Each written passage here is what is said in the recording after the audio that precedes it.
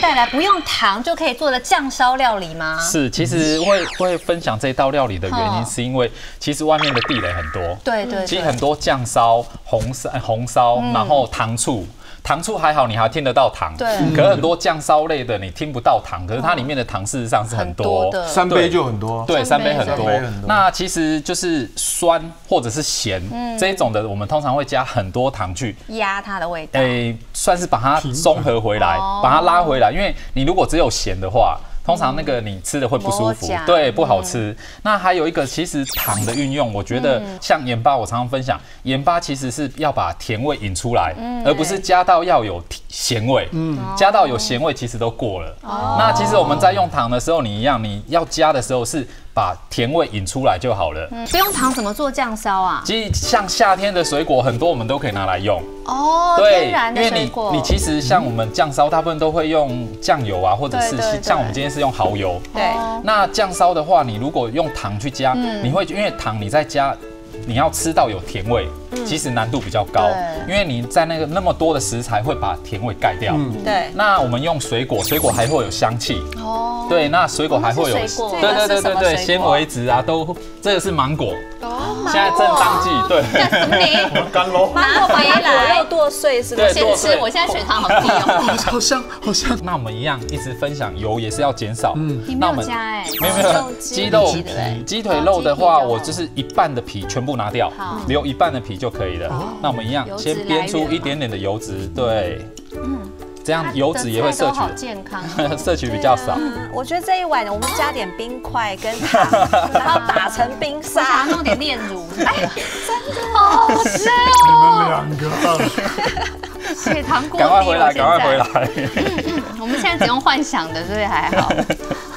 是，我们稍微把它煸出。说像这种这么甜的水果哈，嗯，如果你们空腹吃的话，血糖飙得更高。对。所以你如果说这么甜的水果，你要稍微吃点东西，再吃一点稍微好一点，它上去不会那么快。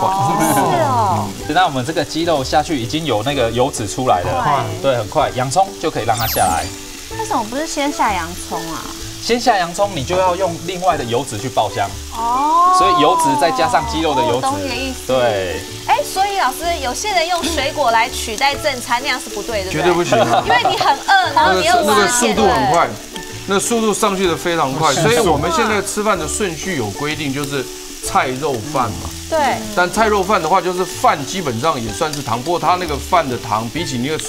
水果糖来讲还优质很多，因为好多减肥的人都是很饿的时候去买一盒水果。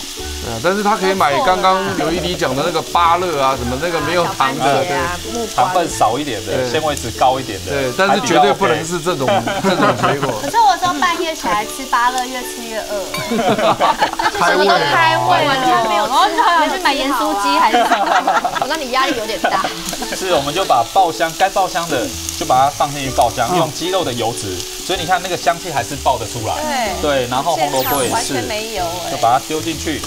啊，怎么一点油烟都没有？因为其实油少，对啊，对油很少，然后这其实是蔬菜的那个水分，所以它会那个香气就会出来。对，那再来香菇，我们也是让它一起进来爆炒一下。其实做菜啊，其实就是很简单，你就是层层去堆叠。不然讲做菜超难。呃，对我来说是。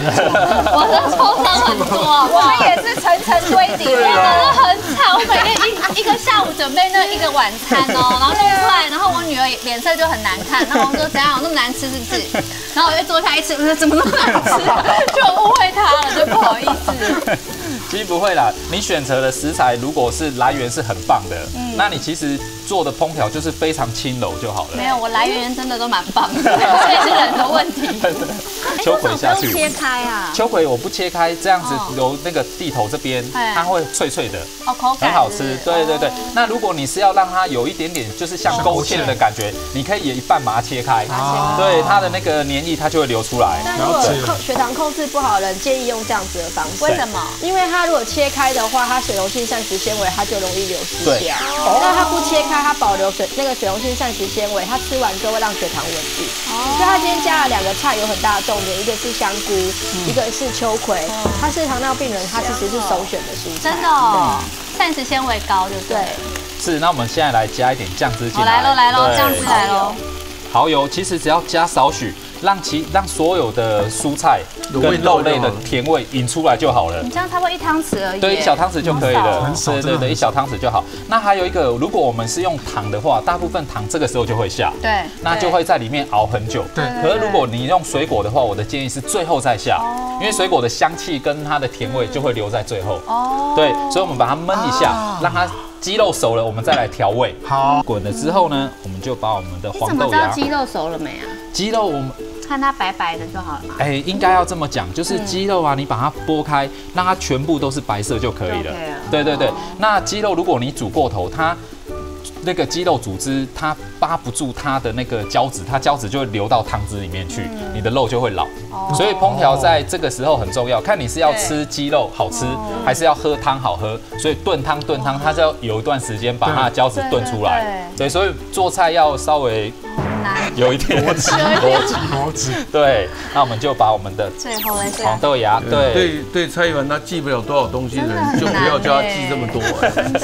但那黄豆芽膳食纤维是绿豆芽两倍，所以如果你血糖要控制，确实要选择黄豆芽。那我们这时候就可以把芒果加进来，是那豆芽很快就熟了。是。哦像芒果在下也是要稍微斟酌。我那半碗要留给你的。是，我们稍微把它拌炒一下。颜色很漂亮。是，对然后它会有那个芒果的香气。嗯这样看有点像金沙。然后我们稍微再把黄豆芽焖熟，这样就可以了。就好了。就好了。啊，其实其实做菜很简单。姐，你不要这样讲。你说这么不还以为是？把它层层堆叠之后再下芒果就没有被骗好多次了。回家做真的没有那么简单，所以我们焖多久就 OK 了。焖大概两分钟就可以了。好，待会来试吃。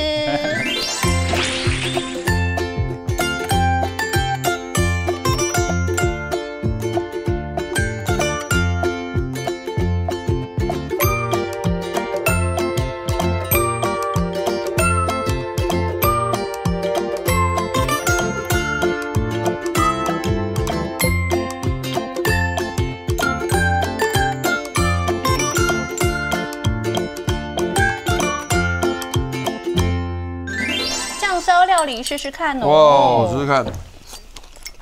哦，很好吃哎。它是个清爽的甜味对清爽的一哦。个酱烧。其实酱烧，我觉得我们要把酱烧这个观念稍微丢掉。嗯，其实酱烧不一定要是很重、很浓，然后又要扒在那个寿司、扒在那个肉啊什么，我觉得不用。其实你淡淡的，你就会吃的很轻松、很舒服。嗯对啊，就你吃那个秋葵超好吃的，没有切掉地头，它真的是整个味道很鲜美，真的。